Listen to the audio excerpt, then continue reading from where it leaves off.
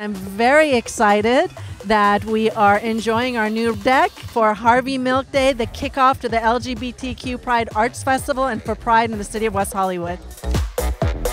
What I'm most excited about celebrating Jose Sarria and Harvey Milk Day today is that we're having a drag pageant. We are standing for our values and standing for our community. Harvey Milk said coming out is the most important thing and most powerful thing we can all do. The speech by uh, Harvey Milk that he gave in 1978. He talks about the importance of queer people running for political office. A decade before Harvey Milk ran for the seat on the Board of Supervisors, Jose Sarria ran for the same seat. Jose Sarria was a really renowned drag performer in San Francisco in the 1950s and 60s.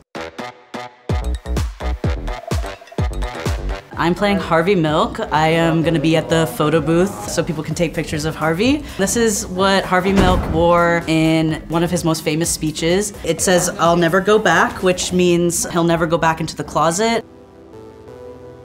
I'm excited to participate today because we're here in my hometown of West Hollywood. And I love living here because it's just very accepting and I can really thrive here without having to worry about the dangers of uh, society. Yeah, I'm very nervous, but with that comes excitement. So this hair was made by one of my close friends. I wanted to do a contrast, so I'm doing pink and green.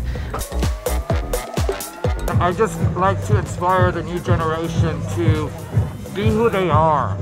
You know, we've been repressed, we've been so pushed down that nothing can stop you if you believe in yourself. Harvey Milk was the first symbol of achievement. I am filled with a sense of pride, remembering what this city stands for, what we fought for, and the fact that it just keeps getting better and better being here. What West Hollywood represents to me is safety, fun, and home.